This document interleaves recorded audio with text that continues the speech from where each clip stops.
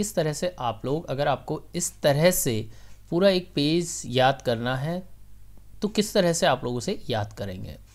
सबसे पहले आप लोगों को क्या करना है कि जो टफ वर्ड्स हैं, उनको अंडरलाइन कर लेना है। तो आप लोग यहाँ से अगर पढ़ना शुरू करते हैं तो चलिए सबसे पहले इसे पढ़ना ही शुरू कर लेते हैं। Why do the why do most celebrity writers despise being interviewed तो यहाँ पे मेरे हिसाब से ये जो वर्ड है, आप लोगों के लिए थोड़ा सा टफ होगा। जैसे डिस्पाइज हो गया कंसिडर हो गया इंट्रूजन हो गया आपका, और इमोरल ऑफेंसिव इस तरह के जो वर्ड्स हैं, ये आप लोगों को पहले अंडरलाइन कर लेने हैं। तो मीनिंग मैं आप लोगों को बाद में बताऊँगा। पहले आप लोग इन वर्ड्स की मीनिंग लिख लीजिए। डिस्पाइज मीन्स होता है हेट किसी से घृणा करना। कंसिडर का सिंपल मीनिंग है थिंक तो जब भी आप लोगों को थिंक लिखना हो अपनी आंसर में तो आप कंसिडर वर्ड को ही लिखें। तो राइटिंग में आपको ज़्यादा मार्क्स मिलेंगे या इसका जो वेटेज है वो ज़्यादा है। इंट्रूजन इंट्रूजन मीन्स होता है टू टू डिस्टर्ब समन और किसी की लाइफ में हम दखलंदाजी इसको बोल सकते हैं, ठीक है? तो इंट्रूजन का क्या हो जाएगा आपका? दखलंदाजी करना, आगे चलते हैं इमोरल एंड ऑफेंसिव इमोरल का हो जाएगा अनैतिक मीन्स जो नैतिक नहीं है, सही नहीं है, ठीक है? आप क्या बोल सकते हैं इसे?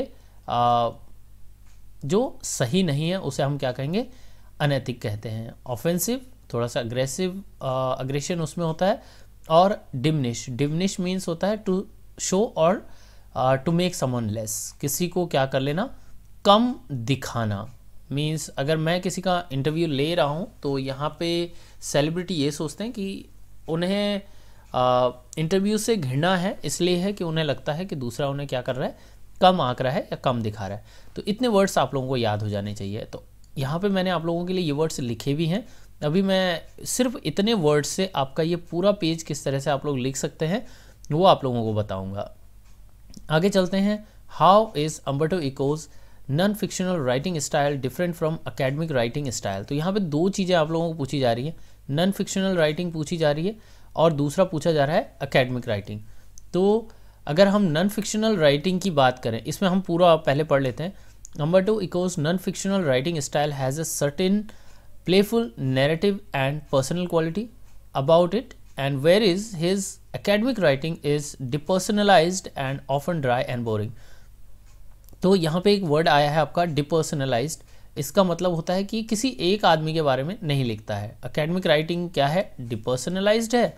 और जो नन राइटिंग स्टाइल है, वो कैसा है प्लेफुल है नेरेटिव है एंड पर्सनल क्वालिटी उसमें आप लोगों को देखने को मिलेगी। जबकि जो अकेडमिक राइटिंग है, वो कैसी है ड्राई एंड बोरिंग तो आप लोगों के लिए यहाँ पे मैंने नोट्स बनाए हैं तो आप लोग यहाँ पे देख सकते हैं अकेडमिक कैसी है डिपर्सनलाइज्ड है, और साथ ही साथ वो ड्राई भी है, और साथ में वो बोरिंग भी उन्होंने बोला है उसको। ठीक है, आगे चलते हैं इसमें। लॉन्ग आंसर में आ जाते हैं। Interviews an unwarranted intuition in the life of others elucidate with reference to the interview यहाँ पे एक वर्ड आया है इलिसिडेट और आप लोग इससे क्या हो जाते हैं? हम्म, कई बार समझ ही नहीं आता है इलिसिडेट क्या होता है। तो इसका सिंपल मीनिंग है एक्सप्लेन इन तीन चार वर्ड को आप लोग याद रख लीजिए। इससे आप लोगों को जो क्वेश्चन पेपर होगा उसमें आसानी रहेगी समझने में। तो डिस्क्राइब आ सकता है। देखिए आपके जितने क्वेश्चंस होंगे उनमें ये तीन चार वर्ड आप लोगों को देखने को मिलेंगे। एक्सप्लेन मिल सकता है डिस्क्राइब मिल सकता है एलिसिडेट मिल सकता है। इसके अलावा एक वर्ड होता है एक जो फ्रेज यूज़ होता है वो होता है डू यू थिंक और इसी को इसी तरह से दूसरी तरह से भी पूछा जाता है वट डू यू थिंक तो क्वेश्चन में अगर इस तरह से पूछा जा रहा है तो आ, कहने का मतलब है कि आपको अपने इस तरह से कुछ भी आपको अपने जो है आइडियाज़ वहाँ पर लिखने हैं। तो ये चार छः वर्ड हैं, याद रख लीजिए। डिस्क्राइब मीन्स होता है वर्णन करना एक्सप्लेन मीन्स होता है व्याख्या करना एलिसिडेट मीन्स होता है एग्ज़ाम्पल के साथ में समझाना या उसको बढ़ा बढ़ा चढ़ा के बताना। ओके डू यू थिंक क्या आपको समझ आप क्या सोचते हैं? ठीक है वट डू यू थिंक आप क्या सोचते हैं? डू यू थिंक क्या क्या आप सोचते हैं? तो ये थोड़ा सा एक जैसा इसका मीन्स साउंड हो गया है।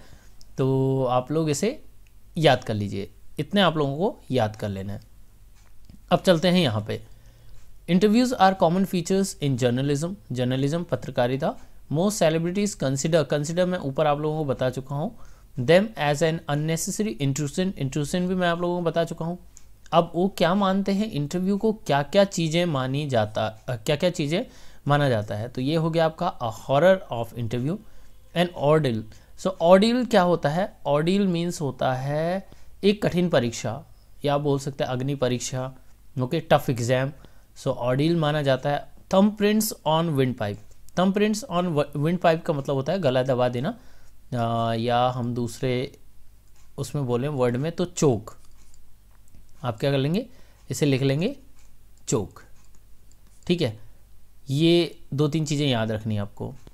Supremely serviceable medium of communication और ये एक क्या है? कम्युनिकेशन का मीडियम भी है.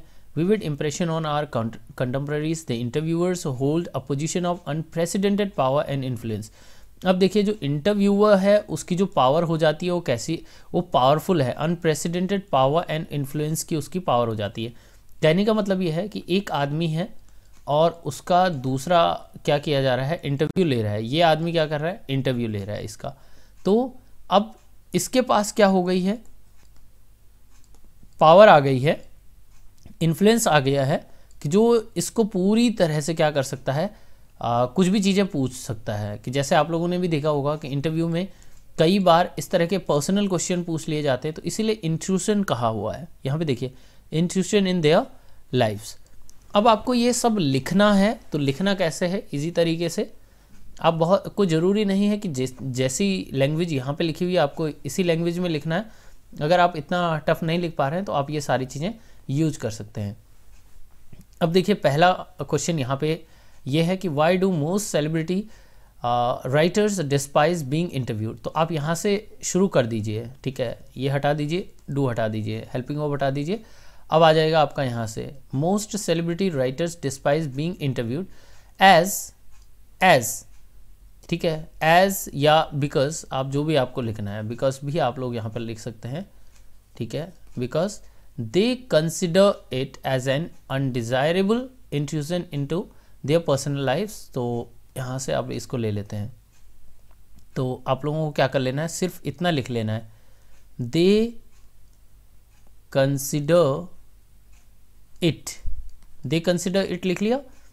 क्या क्या कंसिडर करते हैं? They consider it intrusion in their life अब इसके आगे फिर से अब कंसिडर वर्ड को आप रिपीट नहीं करेंगे। एंड दे थिंक और क्या लिख लेंगे? यहाँ से आप लिख लेंगे and they think it they think it immoral and offensive फिर आगे लिख लिख सकते हैं आप it it is considered that. It is considered that it diminish it diminish them. तो आपका पूरा आंसर क्या हो जाएगा? इसमें आ जाएगा। ठीक है? एक दो फ्रेजेस जो ये हैं they consider it and they think it and it is considered that it is considered that it diminish them अगर आप इट इज़ कंसिडर्ड दैट को हटाना चाहते हैं तो सिंपली एंड लगा दीजिए यहाँ पे। तो ये इस तरह से हो जाएगा।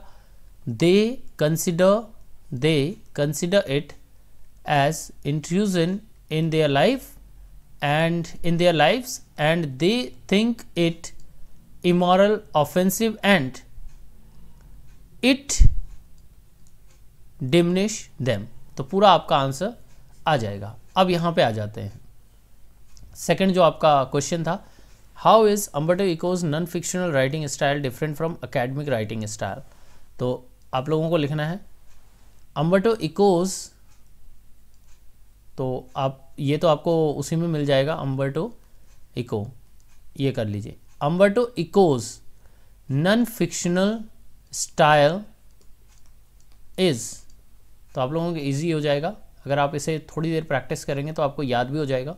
Umberto Eco's non fictional style is playful narrative and personal quality अब आ जाइए इसमें। नेक्स्ट लाइन में आपको लिखना है। And his academic style is देखिए यहाँ पे हमने क्या लगाया style is playful narrative and personal qualities of personal qualities होगा बट आप लिख लिख सकते हैं इसको इस तरह से. And academic style is depersonalised dry and boring बस तो अगर आपको ये वर्ड याद है तो बस आपको इतना ही ऐड करना है. Umberto Eco's non fictional style is playful narrative and personal quality and academic style is depersonalise dry and boring अब आ जाते हैं थर्ड वाले में। थर्ड वाले में आपको बस इज़ लगाना है।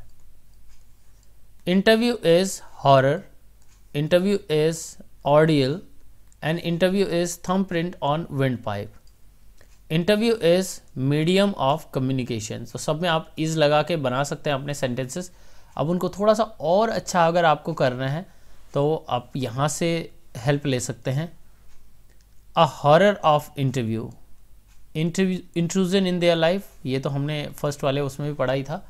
यहाँ पे भी आप इंटरव्यू क्या था आपका, वो क्या सोचते हैं? इंट्रूजन ये वाला वर्ड आप लोगों को याद हो जाएगा। Intrusion interview is horror interview is intrusion और सीधे सीधे इस तरह से लिख सकते हैं। इंटरव्यू इज़ कंसिडर्ड अब आपको थोड़ा सा अगर इसको और अच्छा अपना बनाना है आंसर तो आप इस तरह से इज़ हॉरर की जगह interview is considered as horror and intrusion अब यहाँ तक आप लोगों ने लिख लिया।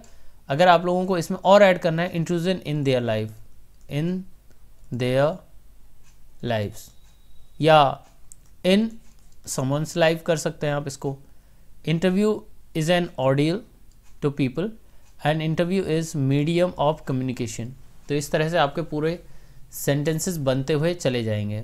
जैसे अगर हम इसको पूरा अगर यहाँ से लिख रहे हैं यहाँ पे देखिए। Interview is an unwarranted intrusion in the life of other ठीक है? तो यहाँ से आप लोग सोच सकते हैं। सेलिब्रिटीज़ कंसिडर दैम जो ऊपर हमने लिखा था। तो इस तरह से आप अपना आंसर क्या कर सकते हैं? पूरा बना सकते हैं। ये जो वर्ड्स हैं, इन्हें अच्छी तरीके से आप प्रैक्टिस कीजिए। कल हम एक नया चैप्टर लेंगे और उसके थ्री टू फोर क्वेश्चंस हम क्या करेंगे? कंप्लीट करेंगे और इसी तरह से याद करने की कोशिश करेंगे। अगर आप लोगों को पसंद आया हो तो आप कमेंट बॉक्स में लिख सकते हैं नेक्स्ट चैप्टर का नेम जो कि आपको टफ लगता हो। मिलते हैं अगले वीडियो में। तब तक के लिए गुड बाय टेक केयर